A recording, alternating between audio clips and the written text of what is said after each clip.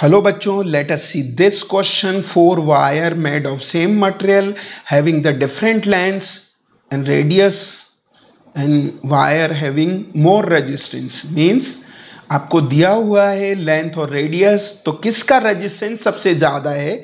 हम जानते हैं resistance rho L upon area होता है resistivity length area rho L upon pi R square होता है for the cylindrical wire so it is directly proportional to length and R का square अब are maximum होने के लिए